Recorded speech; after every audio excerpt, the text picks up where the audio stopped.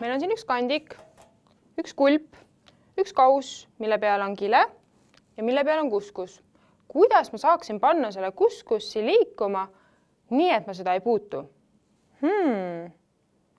aga selleks ma saan ju kasutada heli. proovime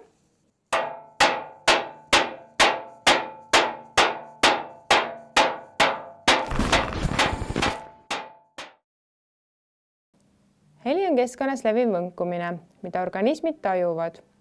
heli tekibki sellest, et mingi keha, mis on heliallikaks, võngub. näiteks kui ma siin räägin, siis minu häälekurv pannakse lihastega võnkuma. kui mängin kitarri, võnguvad kitarrikeeled. kui takistused puuduvad ja temperatuur on ühtlane, saab heliallika asukoha kindlaks määrata. kuidas? heli levib ühtlases keskkonnas sirgjooneliselt asukoha määramiseks ongi meie vajalik omada kahte kõrva. alati kuuleb üks kõrv natukene enne kui teine ja sellest väikesest ajalisest nihkest saab meie aju kätte helisuuna. heli kiirus sõltub keskkonna tihedusest ja temperatuurist. mida tihedam on keskkond, seda kiiremini annavad osakesed võnkumise edasi. näiteks metallid, millel on tihe ja korrapärane struktuur, annavad võnkumise paremini edasi kui õhk ja mida kõrgem on temperatuur, seda kiiremini osakesed võnguvad ja põrkuvad ning seda kiiremini levib võnkumine edasi. lahendame ühe ülesande. kas kahekümne kraadises õhus levivad lained, mille pikkus on viis sentimeetrit, on kuuldavad helid? heli levimise kiirus on kolmsada nelikümmend kolm meetrit sekundis kahekümne kraadi juures. paneme andmed kirja. lambda võrdub viis sentimeetrit, võrdub null koma null viis meetrit V võrdub kolmsada nelikümmend kolm meetrit sekundis.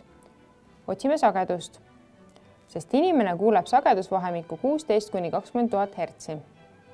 kuna V võrdub lambda jagatud T-ga, mis omakorda võrdub lambda korda üks jagatud T ehk siis lambda korda F, sest et üks jagatud T oli meil F, siis F on võrdne V jagatud lambdaga ehk siis arvudena kolmsada nelikümmend kolm meetrit sekundis jagatud null koma null viie meetriga on kuus tuhat kaheksasada kuuskümmend hertsi.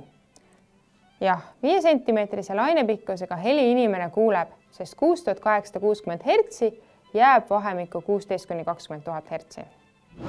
mida suurem on helilaine sagedus, seda kõrgem on heli ja mida suurem on laine amplituud, seda valjem on heli kui helilaine sagedus on suurem inimese poolt kuuldava heli sagedusest, see tähendab siis suurem kui kakskümmend tuhat hertsi, siis nimetame seda heli ultraheliks. näiteks kassid kuulevad ka osa ultrahelist. ning kui helilaine sagedus on väiksem inimese poolt kuuldava heli sagedusest, see tähendab väiksem kui kuusteist hertsi, siis kutsume seda infraheliks. näiteks elevant kuuleb ka osa infrahelist.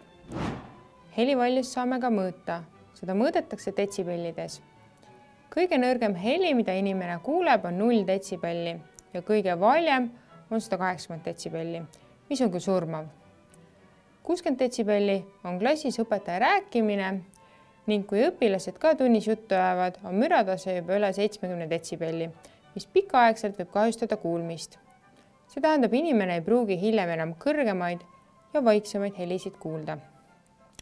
kaheksakümmend detsibelli on suur liiklusmüra mille korral tuleb teha helitõkkeid maanteede äärde. võite endale alla laadida äpi müra mõõtmiseks ning järgmine kord klassis seda mõõta. müraks nimetame korrapäratu võnkumise tulemusena tekkinud heli. aga mis siis selle kandiku ja kuskussiga ikkagi tegelikult on? lüües kulbiga vastu kandikut, paneme kandiku võnkuma ning kuna heli on võnkumise levimine keskkonnas, siis kandub see võnkumine läbi õhu plastikust kileni mis hakkab omakorda võnkuma, pannes kuskussi hüppama. kokkuvõtteks, heli on võnkumine, mis levib keskkonnas ning mida organismid tajuvad. võnkuvad kehad tekitavad heli. heli levib pikilainena. ühtlases keskkonnas levib heli sirgjooneliselt. heli kiirus sõltub temperatuurist ja keskkonna tihedusest.